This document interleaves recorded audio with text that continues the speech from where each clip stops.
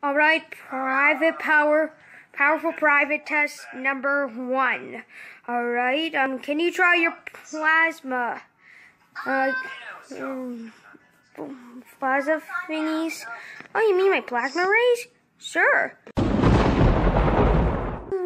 Okay, try your jets.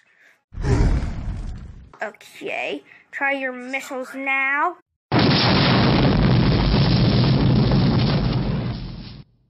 Wait, why do I have a vacuum? I have no idea. Alright, test over.